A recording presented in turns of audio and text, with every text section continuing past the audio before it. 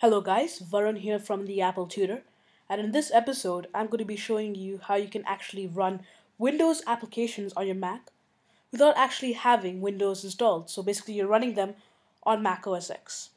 So the first thing you need to do is you need to download an application called Wine Bottler. And in this application you can basically run Windows apps on OS X. So basically go ahead and download it right here.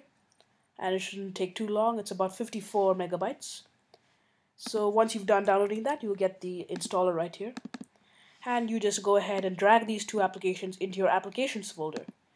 So once you've got that, you can go ahead and open this up. Let's go ahead and open up Wine Bottler. So now you'll have the interface right here. You want to go ahead and go to create custom prefixes. Well, that's basically what you want to do if you want to go ahead and install any Windows app. But if you go right here to install predefined prefixes, it'll basically give a list of available um, applications to install. Uh, these are basically within the package. So for example, right here, Microsoft Internet Explorer, you can go ahead and download that and it will run just like how it does in Windows. And silent install, I think, makes it faster. Go ahead and click on install. And I have it already right here in my applications folder. Yep, there it is, Microsoft Internet Explorer, and yeah, it works pretty uh, well. But I'm going to go ahead and show you how you can do it with any Windows application. So if we go ahead into our Internet browser, I'm going to try with Notepad. Notepad. Click on Notepad right here.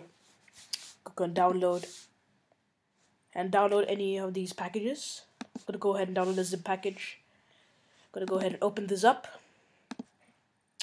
So once we get that, you'll see Notepad. And you can choose any of these. I choose ANSI. And you'll see that we have it, it's called Notepad++.exe.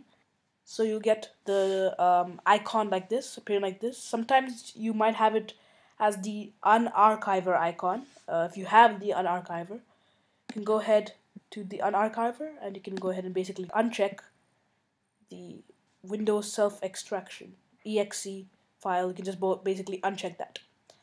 So you want to go ahead and open up Notepad, this um, file right here. Open, and you'll see that we have it opened up in Wine. And it says you're about to open a Wine file. You can choose to run directly, or you can convert to a simple OS X application bundle. I'm going to go ahead and run directly.